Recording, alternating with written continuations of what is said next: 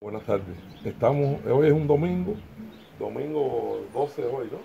12 de enero, y estamos aquí en Cárdenas.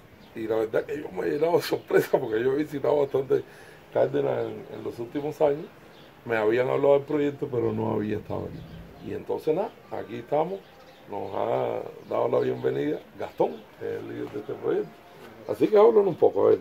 A ver, primero que nada, venimos aquí porque soy socio Cieri y Cieri nos dijo, si tú vas a hacer algo grande en Cárdenas, Banadero, tienes que ir al proyecto de identidad, porque la, la verdad que es una maravilla, es referencia casi para los proyectos que tenemos en el país. Entonces, cuéntanos de este proyecto. me siento honrado con esas palabras suyas, ¿no? Pues, eh, yo solamente hago lo que puedo. Incluso no soy ni artista, yo soy un autodidacta. Sí, Utiliza la cultura como espada y escudo nacional. qué bien, qué bien. Rescate de valores, trabajar con las nuevas generaciones, aunque trabajamos también con el adulto mayor, como después te puedes ir viendo la lámina, Ajá. del antes, durante y después, Ujú. del plan de actividades sistemático que se hace. Yo creo que tú me diste un periódico que ¿Qué? yo no lo he leído.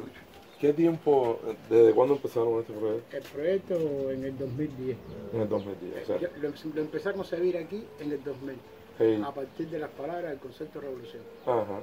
Ya cuando lo, El concepto de revolución de Fidel. Acuérdate que, el estamos hablando no solo para Cuba, sino para el mundo y que la gente claro, se ubique. A partir del concepto de revolución de Fidel, Sí. cambiar lo que debe ser cambiado con modestia, desinterés y altruismo. Ujú. Pues me di a la tarea porque dije, ¿qué estás haciendo? Ujú, ¿Quieres hacer algo?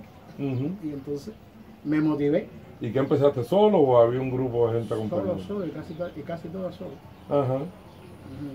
Sí, pero tienes que haber involucrado a mucha gente Sí, para el lograr pueblo, esto. míralo ahí. Ya, El ya. pueblo, ¿no? Pero bueno, en el movimiento artístico casi, casi, casi siempre trabajé solo. Y entonces eres autodidacta. Autodidacta. ¿Y, y qué manifestación del arte es la que más te expresa? La plástica, En la plástica. las esculturas, como usted Las esculturas. afuera en, O en sea, que lo que te gusta más es la, la escultura La escultura y la plástica. y la plástica. Ah.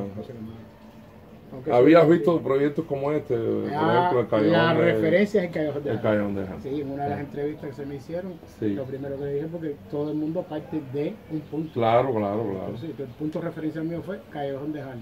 Tuve- Ok. ¿Y esta señora tan bonita aquí que está paseando? Ah, esa- claro. esa es mi mamá. Ah, sí. Sí.